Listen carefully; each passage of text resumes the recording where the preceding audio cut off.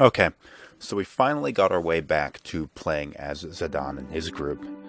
And it's been since the end of Disc 1 that we've got a chance to see what happened to these guys. It turns out they did in fact survive their encounter with Beatrix, the Queen, and that mystery dude dressed like a woman.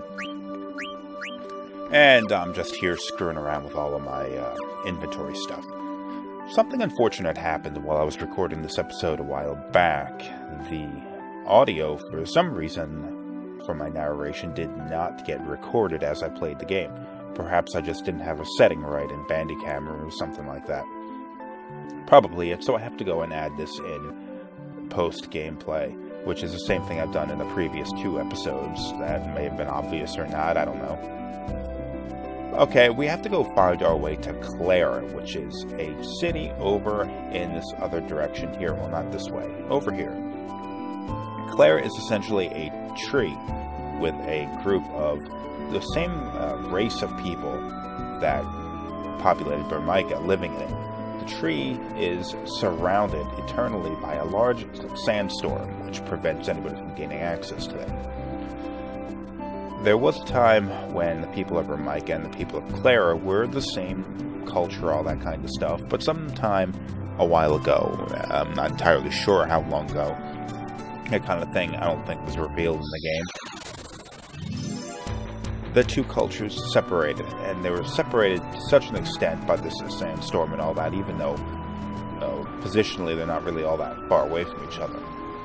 The sandstorm prevented them from interacting, so it's essentially like they are aware of each other's existence, but they don't interact and they don't see each other. In fact, I don't think there's been actual contact between two civilizations for quite some time.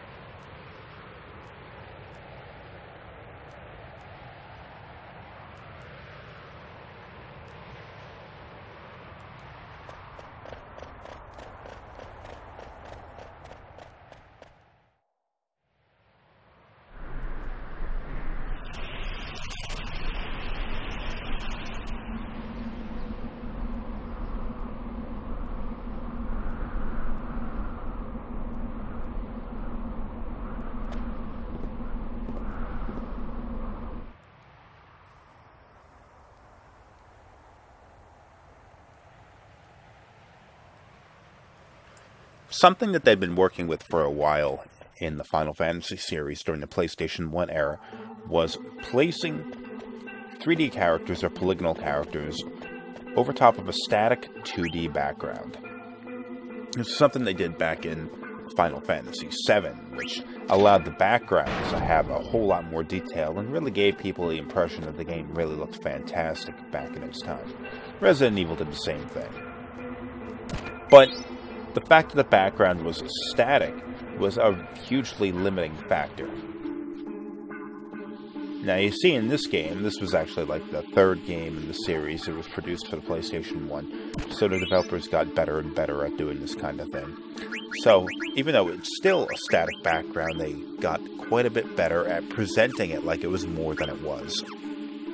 For example, that sort of panning down the tree and then it stops over the top of the characters. It doesn't really look that good on modern TVs because everything was expected to be at a higher resolution and all that kind of stuff. But back in the late 90s, or actually this was early 2000s, wasn't it? The average person just had a CRT TV with a PlayStation 1 hooked up to it through RCA components or something like that. So, everything was a little bit blurrier and all that kind of stuff. So that kind of effect that they were doing really looked pretty good. In fact, it looks pretty good here. The background is static in the sense that you can't truly interact with it. But it is moving. Look, the sandstorms are raging behind there, the sand's moving down there. It's probably only like five or six frames of animation or something like that there. But it is enough to give the impression that the background is active. Now, one of the reasons why the games ended up taking up multiple discs back in this time was because of these static backgrounds. They go and they, every single one you record, every single one you have in the game has to be like rendered and stored as a picture file on the disk. And then that's loaded and moved in a new area. That's why some of these loading screens take a surprisingly long time. to load up.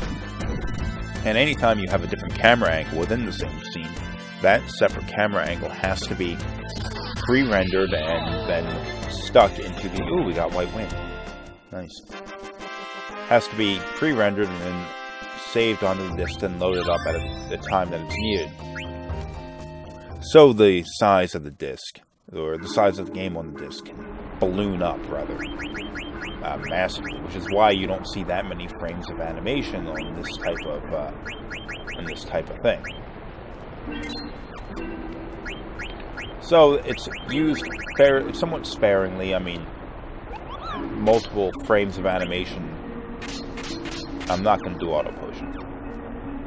Multiple frames of animation are used in a lot of the backgrounds in this game, but you can't use that many frames because it would it would be too much data.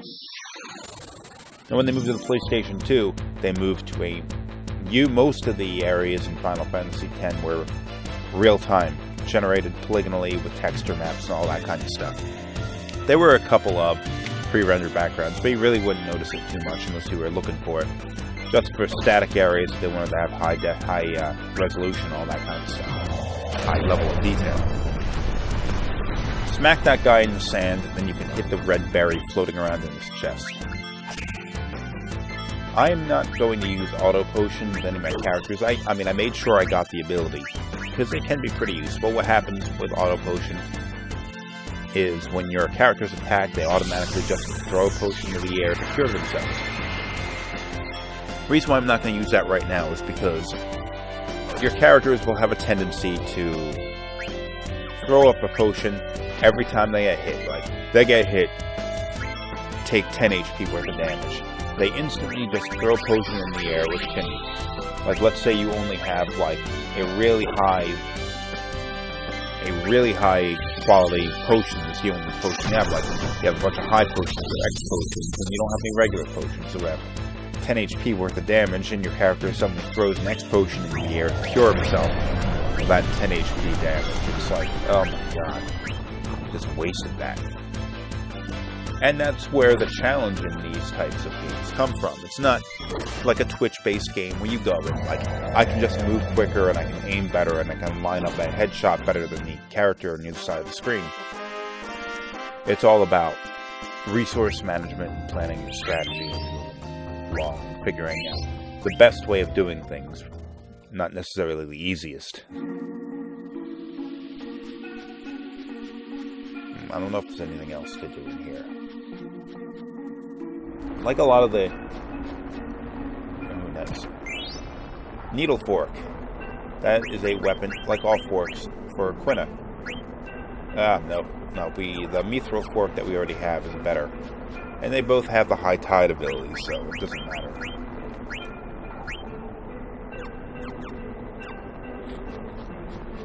Oh, a Moogle the random battle element is something that you don't really see much anymore because people, for the most part, regard it as a sort of relic of sort of the olden times of video games where, I mean, it made sense back in, technologically it made sense to do this kind of thing back in the old NES era because what this, a lot of people say is the only reason why turn-based battles ever existed was because technological constraints prevented them from going and doing real-time battles in old NES games, like stuff like that. The random battles were an element of that. You can't render a whole lot of characters on the screen at once wandering around in the world. So, why not just have, when you're in a certain area, have battles randomly occur? Makes sense. It doesn't, you don't see it too much now because people have gotten tired of it I mean, as a game mechanic, it works just fine. But in a modern game, people are like, ah, crap, I just want to wander around and not want to worry about suddenly the screen flashing a different color or wiping away or shattering or whatever, and then I have to go through a battle which may potentially take like several minutes. Like, this fight could have been over quicker had I wanted it to, but especially in earlier Final Fantasy games, you'd get into like some random battle and holy crap, suddenly it takes like half a freaking hour to get through this fight. But realistically, a fight on, like, say, the earlier Final Fantasy games, might take, like, a minute to complete. The problem is then you go and take another 10 steps and get thrown into another, another fight. What happens, though, if, say, you went in the wrong direction on the map, and you didn't go, just go straight to the direction you want, you ran into a dead end. Then you'd have to turn around, go back, retreading across the areas you've already been, potentially getting into another fight. It kind of like dissuades you from exploring the map. And it's a shame because exploring the map is really the kind of thing that you want to do in this kind of game. Oh, letter. You want to go and explore the map, find those treasure chests, find those little storyline parts that flesh out the game. But unfortunately, the the real not oh, damn it random battle element kind of throws that up. Modern games, even if they have like a turn-based battle thing, tend to have like enemies appearing on the game map and they run up and touch you, sort of like Earthbound. Flame Staff. I'm not going to equip this yet, because I haven't gotten all my abilities yet.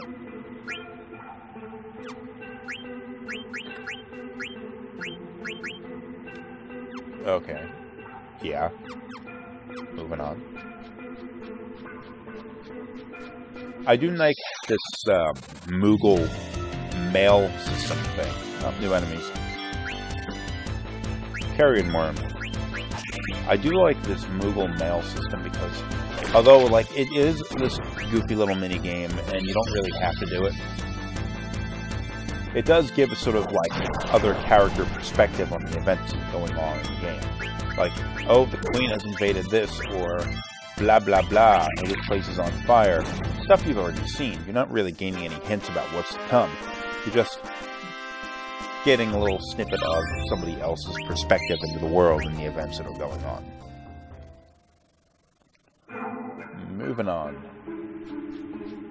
Uh, I think I cut the camera up here a little bit and then retreated to make sure I gained some new abilities. So if you see a jump in the gameplay, then that's the reason why. Well, I mean, I'm... I do tend to cut out the battles against enemies that we've already faced before because no one wants to see me just endlessly battle the same enemies over and over again. I did this one because I didn't manage to use the Eat command on it. Damn, Zidane's attack power is too strong. For some reason, Vivi's is surprisingly strong. Trouble juice. uh, he's crying. Ordinarily, like, I didn't get the ability, but ordinarily the way I try to get somebody like Quina to lower the enemy's HP lower enough that he can use the Eat command is by having lower strength characters like... Oh, there's the jump. Like Vivi and Frey to go and damage the thing. Lowering HP enough, but not killing them for Quina to be able to use the Eat command. Yes, cost life when KO'd. You have to cast it beforehand. Uh, it's not really working for me too much here because the, um, well, for some reason Vivi's attacking better than I would have expected him to. I'm expecting a black mage using physical attacks to only be producing like 60, 70 HP. Like if I were to, if Dagger were in the group and she were attacking, she'd be very limited in her attack power too, even more so than Vivi. But she's generally not a an attacking character. I mean, it's it must it's probably a better thing that Vivi is able to do some approaching reasonable damage with physical attacks, just in case I need him to. But for the moment, it's not really working in my favor. Alright. Mithril gloves. I don't know who can equip that here. I don't think anybody here can equip that. Oh, no. Pray again. But I already have them equipped, so whatever. That's another thing that they did in this game that you didn't see in some of the earlier games. And that was have different equipment for different characters. Like, some of the lighter armor and all that kind of stuff Zidane can wear, and then the heavier equipment is something like Steiner would wear, or some of the, the larger, like, physical characters like Freya can. can wear some of Steiner's stuff, that kind of thing. So, like, I just can't go into a store and, like, oh, these mithril gauntlets increase defense by 10 points. I'll buy enough of these to fit out my entire group. You have to put a little more effort into it. Alright, I think I'm good here. Uh, uh, get out of that, get out of that, get out of that, get out of that. Gotta jump a bunch of times. Depending on which direction you're looking at when he gets out, he should jump in different directions. Now, it is possible to sort of walk between these things like I did just there. But I think maybe you would want to get sucked down into it once just to fight the thing that you would fight when you do it. There's another treasure chest over there, but I don't know how to get it. Okay, here's our fight. And it is... Oh, the scorpion things. You can actually fight these earlier in the game if you want. Like, you want to gain whatever it is ability that they have. Head over, like, northeastern, I think, or northwestern of Cleyra there's a beach, and you'll fight these things on the beach. I fought a few of them before heading to Cleyra. Cut the camera and fought a few of those things. And... So I already got what I need out of these things. I can just kill them. But they are tough little bastards, so be careful.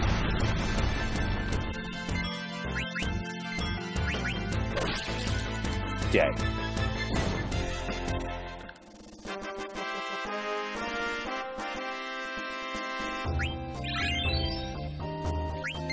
Levels are coming in quick.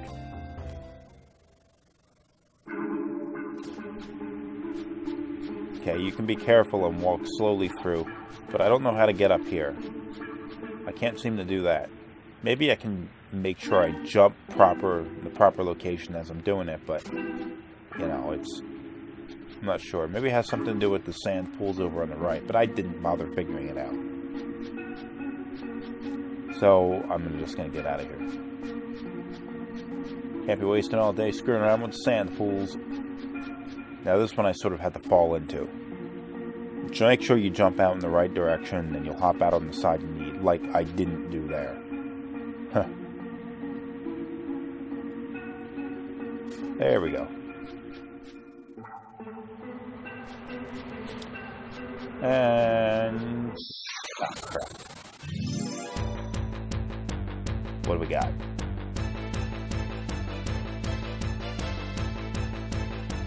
Nope.